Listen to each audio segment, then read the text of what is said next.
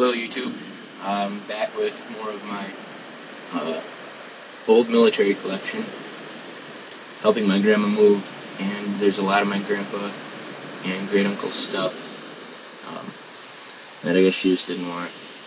Got some cool new things. First out, I'll start with something. I had it for a while, just never showed it. This is a stripper clip for Springfield with all uh, vintage ammo. Sweden's head stamped 42 and I think they all are except for one.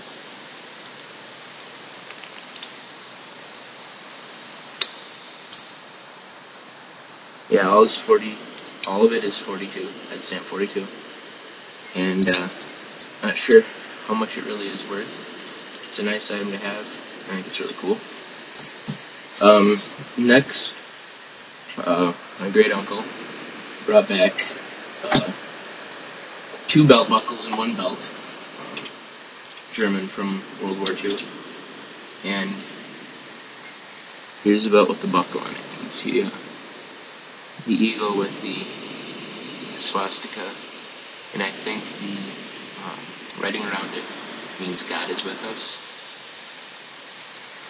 That's what I know. Um, here's the other buckle.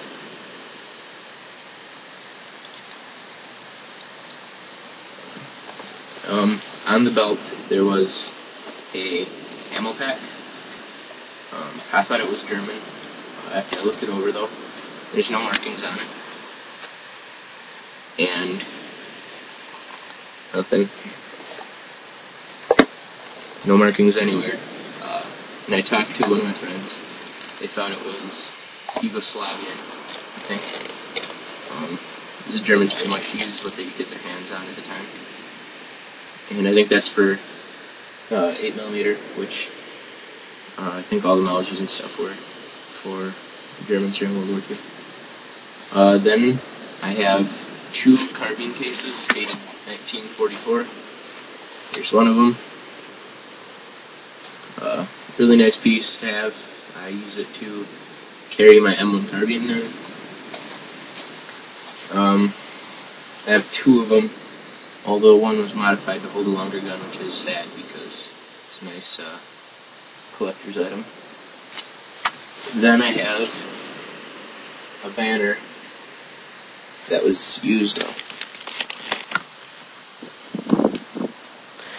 And it was used, uh, to the best I know, um, they stretched that over tanks and half tracks and vehicles so that it uh, wouldn't get bombed by their own people. And I know that was only used for a short time. Uh, I think it's really nice. Not sure on the value, so if you guys know, um, you want to please comment telling me what it is for sure, how much it's worth, whatever. You could send me a message. Um, if you know anything about any of the stuff I'm showing you, uh, other than what everyone else knows, the basic stuff, it'd be nice to know. If you have questions, you can comment too. I also have the mystery bayonet still, which is for some kind of Mauser. Still has the original frog and sheath. Uh, not in too good a condition, but I'd still like to know. Let's see, I'll show you guys close up here. It's a blade. That's the handle looks like. That's where it attaches to the gun. Um, not really any markings on it that I can tell. Uh, it is it's pretty cruddy. So if you know anything about that, let me know. Um, if you have any questions, like I said, you know, just comment with a question. I'm sure I could answer it or another knowledgeable person out there can answer it. So, uh, thanks for your time.